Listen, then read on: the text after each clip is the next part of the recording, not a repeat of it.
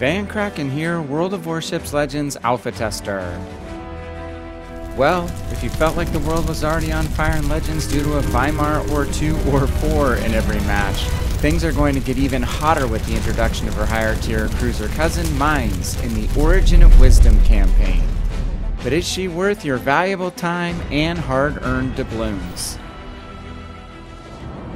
November 2021 update brings us an interesting twist we haven't seen since last December's Massachusetts event. You'll not only have the chance to earn the flagship Tier 7 premium Mainz for the typical 6 US dollars after investing 2500 doubloons in Admiralty backing, but you'll get the French Tier 4 destroyer Siroco for your efforts as well. All told, there's over 80,000 dubs and WG retail value you can pocket, including the two campaign ships and all of the other XP, commander credits, and booster swag available. Just remember that this is a supersized 6 week campaign with a typical weekly structure, and Siroco will be available to unlock at milestone 40 of the event.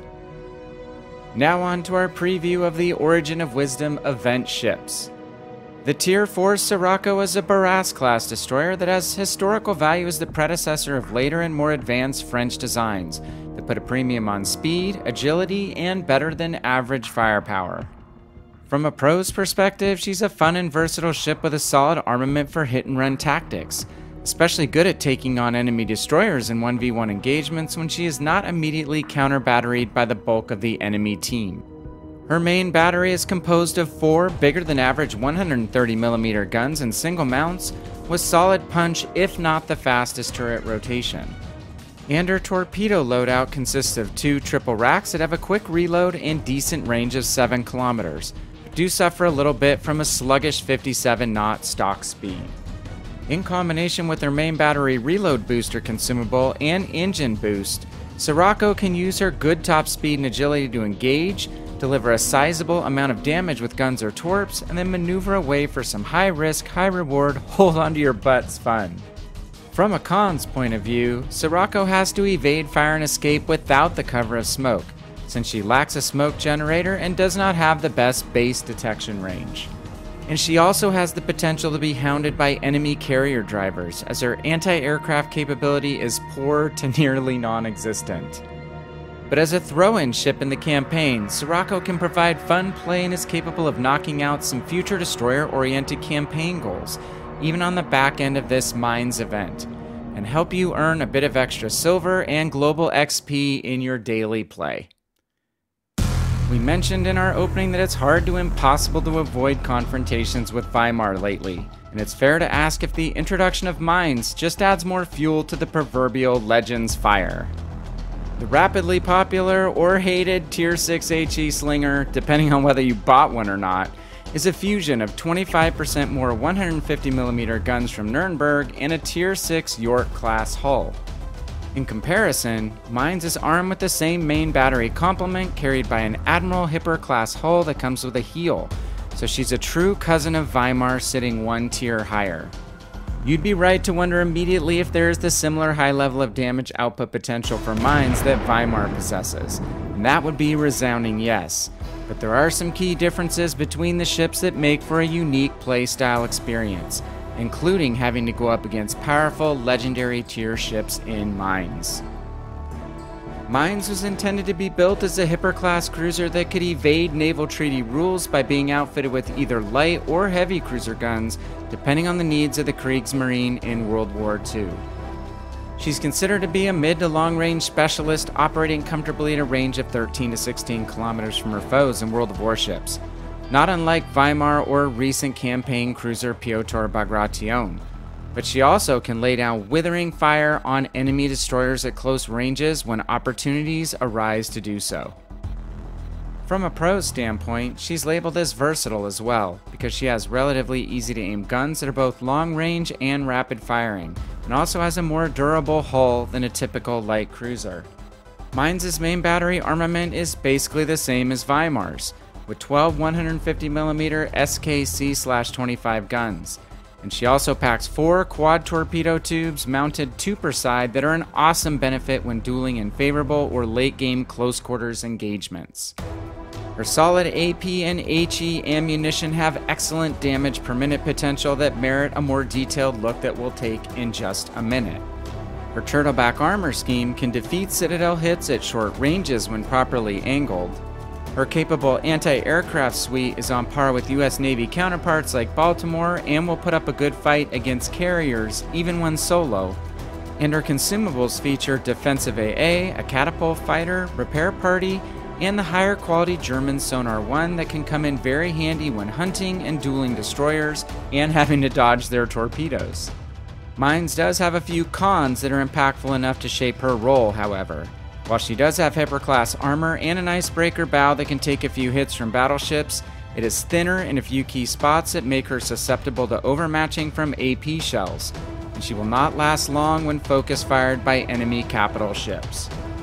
And finally, she also has a sluggish turning circle, marginal top speed for a cruiser, and very poor concealment which can negate her relatively large hit point pool if she gets caught close to a cap circle or in an exposed position at the beginning of a match. Since the value of cruisers is definitely firepower oriented and not rooted in their durability as compared to battleships, let's drill down deeper into what makes Mainz' main battery guns special. We already mentioned that these 150mm workhorses feature a high rate of fire, flat ballistics, and high damage per minute. But how do they compare to those of fearsome Tier 7 light cruiser contenders Cleveland and Admiral Kutuzov? Let's take a closer look.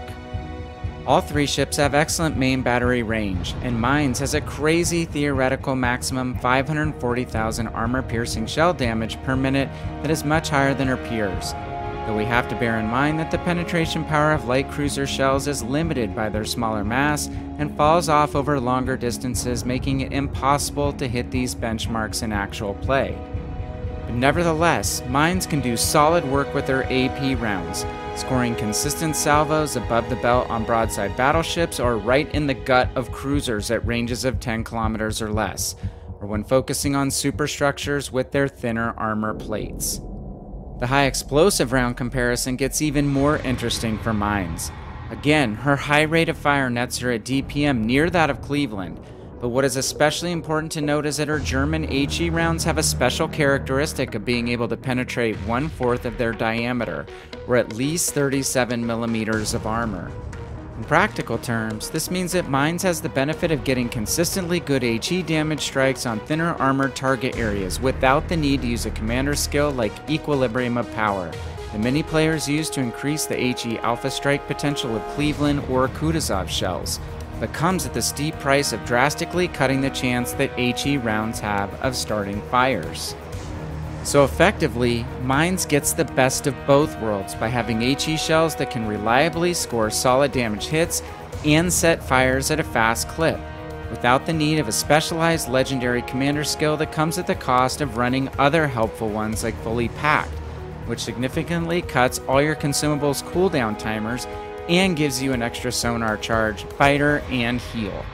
All told, her 150mm guns are going to make Mainz really fun as Weimar owners have already discovered.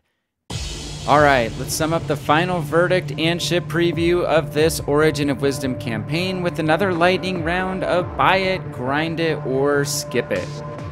I'll keep saying it, these campaigns are way too expensive to buy out with cash, to the tune of about $92 US if you buy them out upon release. So only pay for the whole thing on day one if you have pockets lined with doubloons and you have a relatively big hunger for extra steel. However, you rarely get two impactful ships to grind in a single campaign event for the price of one, so it's definitely worth $6 to participate in the weekly havocs of the event. And Mainz is honestly worth grinding alone for $6 without a second ship being included. She's even a good choice for players who aren't cruiser mains because she's more forgiving to play than similar ships at tier 7 and can deal both big damage numbers and survive a few scrapes with battleships along the way. And lastly, she's going to be an especially worthy investment for those players that have the patience to play from the second line. But there always has to be at least one counter argument, and if you only like to brawl and live for the chance of dealing devastating strikes, or you just really don't enjoy cruisers or DDs at all, save your cash, sit this one out, and hold on tightly to your BB main card. But on the other side of the HE spamming coin, if you can't beat them, join them. Mainz is a great option to play on the dark side, or should we just say the hot side, and enter the cruiser life fray. For the sake of balance, if you want to learn more about countering cruisers in your battleships, check out our tactical tip video linked in the corner above. Also, don't forget to come back to check out our growing library of content here on YouTube or to join us for a live stream here on YouTube or on Twitch. And if you enjoyed this video, we'd be truly grateful if you drop a like and subscribe as it really helps the channel grow. This is VannKraken, and we'll see you in the next video.